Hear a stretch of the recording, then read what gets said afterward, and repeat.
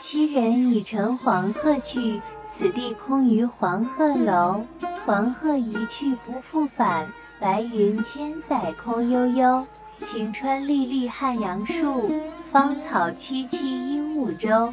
日暮乡关何处是？烟波江上使人愁。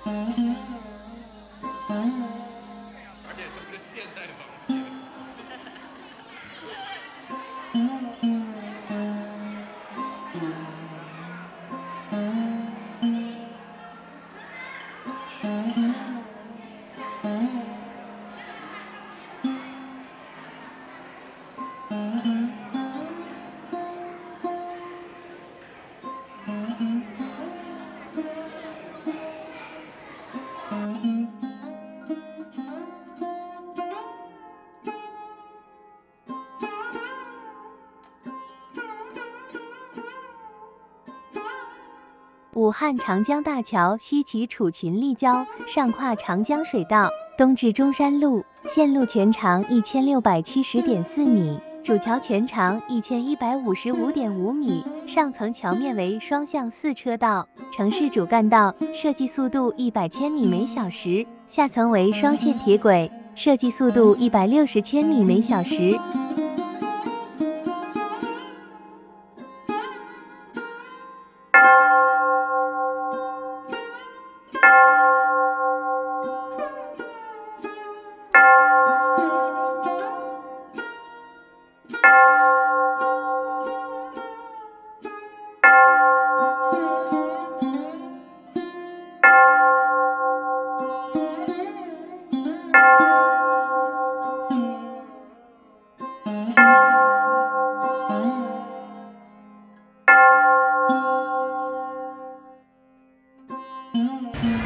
晚上要带大家来品尝一下这边的特色小特色小龙虾。这边有几间店是比较出名的，你平时上一些什么，呃，点评网啊，或者是在团购什么的一些网站的，这边的几间店都非常出名。它这几间是什么？有肥仔虾庄啊，还有这个小亮蒸虾。好吧，前面就是一个肥肥虾庄。它分的，呃，比较细，这是什么？呃，清蒸的、蒜蓉的，就各各种味道不同，然后它们特色就不一样。带大家来看一看，这阿姨在挑这个虾。我问一下阿姨，可不可以帮我？我可不可以在这拍摄？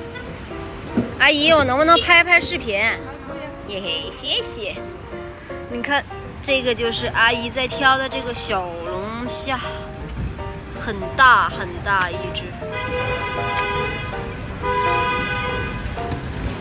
虾哥拼命的在往外爬。现在的虾是都有膏是吧？是不是都有黄啊？有都有啊，都有。什么时候都有黄？全部都是活着新鲜的。你看它的这个蟹甲也非常的大啊，这一盆一盆的。刚才其实我问了一次阿姨，那个挑这个是什么意思？但是阿姨说的是这边地方话，我不听的不太明白。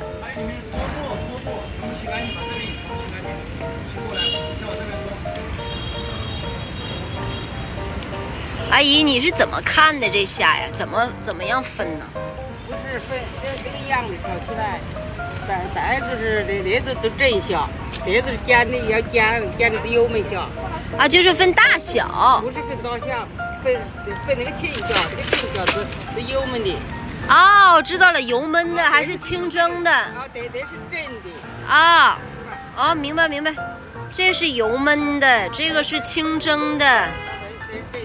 然后阿姨就坐在这里，在这一个劲儿这是挑这些虾啊，具体是咋挑？反正反正是挺挺冒险的啊，小虾一个个的也没绑着，得拿那钳子，特别危险。谢谢大哥。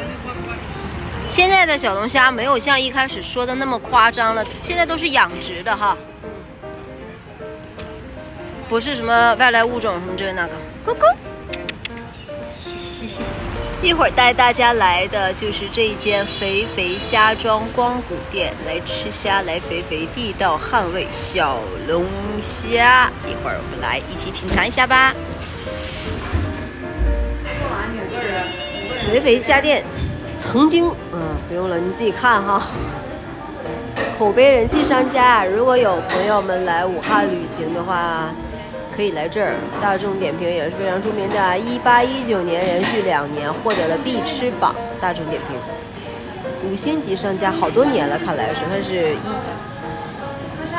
二零一零年、二零零九年，最早的是这个二零零九年龙虾馆。